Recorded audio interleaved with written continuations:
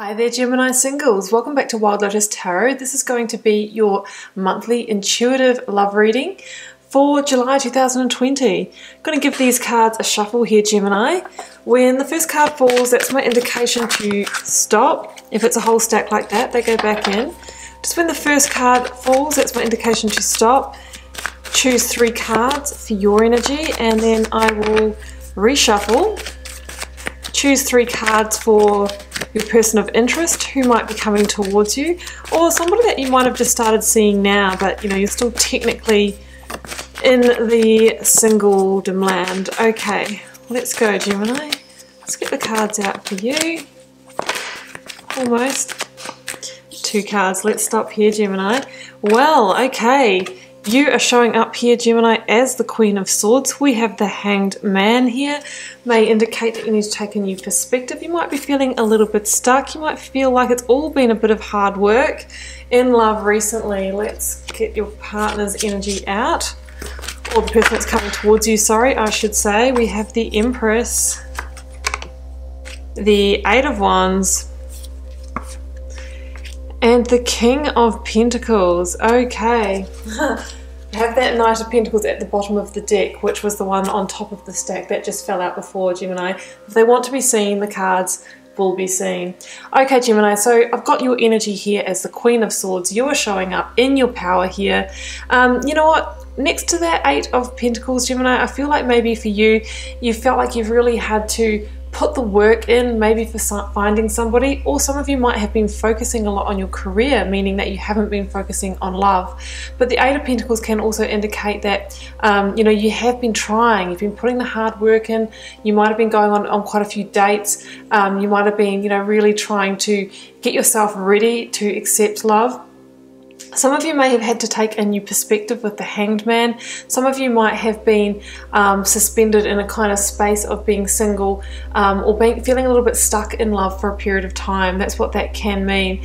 Um, the hanged man, um, and as an energy as well, might say that you know you've had to kind of get to a point now that you're just really surrendering to what is. You can't try and push it too far. You know, it, it, we have to come to the conclusion that um, our divine partner or love comes to us in divine timing. Sometimes, if we work too hard at it or put, push too much, um, we can actually um, almost like the energetics of it can be a bit counterproductive. So, the Hanged Man says that maybe you need to surrender this month, Gemini. Just surrender to what is, and that's when love starts to come towards you. So, that's what I'm seeing here.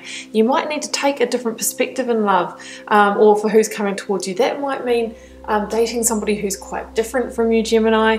Um, you know, maybe being accepting if they're a, um, a, different um, a different age, have different values, and that kind of thing as well. So that's what I'm seeing there. Um, I think you're starting to see the big picture and maybe kind of figuring out what you want. Um, maybe just not putting in as much work, not trying to push as much. Allow it to unfold a little bit more organically here, because there's a sense here that maybe you've been a little bit stuck or frustrated because maybe love hasn't been coming your way despite the amount of work that you have been putting in. Or the other reason I'm seeing here, Gemini, is perhaps you've been really focused focused on work or study and not focused on love at all. Okay, so your person of interest or who's coming towards you here, we definitely have um, Virgo, Libra, and Taurus energy here. Um, the person that you're interested in could be a King of Pentacles, um, gender in specific, guys. The King of Pentacles would be an energy who is quite grounded, quite stable, someone who's loyal and trustworthy, somebody who might be an entrepreneur, a business part, uh, sorry, business owner. Um, they could be somebody who is even your boss or mentor as well. It's quite a mature, authoritarian energy. That doesn't necessarily mean older than you, but I feel like this person could be older than you as well. Maybe that's one of the things that you need to accept and surrender to as well, Gemini. Um, we have the Eight of Wands here. You know, this can be sudden change, right? This can be somebody coming in quite quickly for you. Um, with the Eight of Wands as well, you could be communicating with somebody over the internet, online dating. You might be doing a little bit of, um, you know, flirting or sexting, if I'm allowed to say that, um, as well here with that energy. You've both got a number eight in your um, in your in your energy, yourself and your person of interest or person that you may not um, Noah's coming towards you at the moment, and that really is, you know, a number of kind of abundance, of mastery and power. So we have a sense here of you both maybe being in a good place and ready to um, accept love because there is a sense of you being in your center, in your power, um, and the fact that, you know, this could be an abundant situation for you both. The Empress energy here, guys, can be um, the beginnings of a new creation in love and relating. This could be your person of interest getting ready to make you an offer or to advance as well because the Empress is the biggest card of possibility and it's really a card of whatever your person is desiring with you, Gemini, that they might be getting ready to um, actually materialize it, to kind of make it solid. That's what the Empress does she births things. She she takes things from creation to a, an actual realized um, outcome. So your person could be getting ready to offer you even a commitment. If it's someone you've just started um, dating, they might want to go go um, exclusive with you. Or this can indicate that you know there's just somebody coming in. They're going to make an offer for you. They could come in quite quickly, quite out of the blue, and it could be somebody that you're already communicating with online, Gemini. Um, I mean, the Eight of Wands sits underneath the Queen of Swords. I know that's your energy, but the Queen of Swords is also um, about communication um, about you know the air energy. So I definitely feel like there could be an online dating situation here as well. So interesting Gemini, uh, Gemini energy Gemini. I feel like you are being asked to surrender to relax, to let this unfold, to maybe not focus too much on work, maybe be open to love. Um, you've put the hard work in, you know, maybe just relax a little bit because we can see that there's potentially someone coming in here for you. Um, the Empress can also be like some a sign of fertility as well. If some of you are wanting to attract a partner where that is going to be a possibility for you, that is a really good, um, a really good symbol of that also.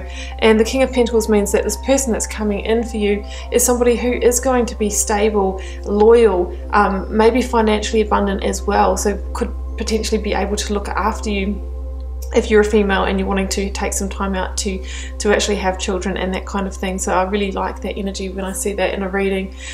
Okay Gemini um, I hope you enjoyed the tarot cards. Let's do some do some romance angels. Let's pull some romance angels just to finish off for you to see what the messages are. We've got two that have jumped no, that's four. Too many. Mm hmm Romantic feelings.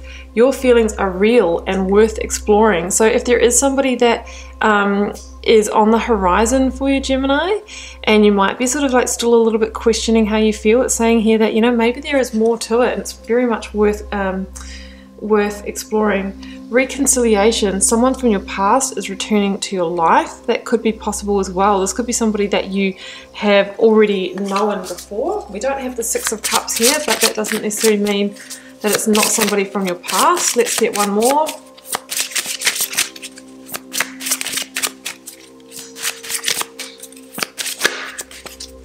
One more. Parting romance angel message, please, for Gemini. Here it goes, Gemini. We have separation, time apart from your partner is on the horizon.